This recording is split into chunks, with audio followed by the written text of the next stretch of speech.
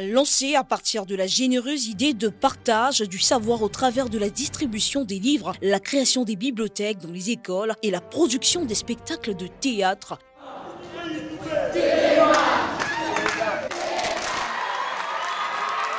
Après l'exaltant parcours de 10 départements lors des trois précédentes éditions, la caravane du livre organise du 30 novembre au 15 décembre 2024 sa quatrième édition dans les départements des plateaux, de la cuvette centrale, de la cuvette ouest et dans celui de la Likwala. Cette quatrième édition met à l'honneur deux écrivains, Emmanuel Dangala et Gimenga. Gimenga Grand Prix littéraire de l'Afrique noire en 1969, auteur de la célèbre pièce de théâtre La marmite de Kokambala.